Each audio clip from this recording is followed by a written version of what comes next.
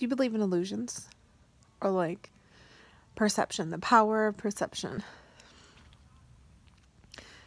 Right now, I'm just less. Now I'm earless. Now I'm fearless. It's going to be backwards to you. It's just the point.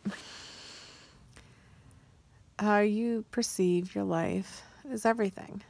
This is so elementary. I know. it's like crazy when you look at your issues and you think that they're so big and you think that you're never going to get over whatever it is, you know? And then you look outside of the situation and you see someone else's situation and you realize that your shit is not that big of a deal at all. And you realize, like,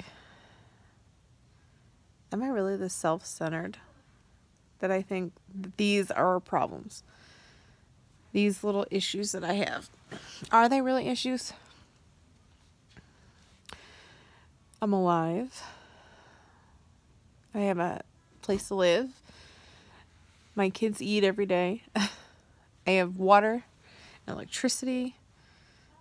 You know, I'm able to take care of my kids. It's not like the life that I envisioned. It's not everything I ever wanted. But God blessed me with enough to take care of five kids on my own. So even if I was left to do it all alone, at least He gave me, you know, the means to be able to do it. My problems are not that big. I don't know.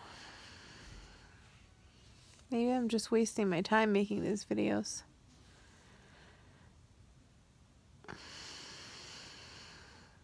I don't know.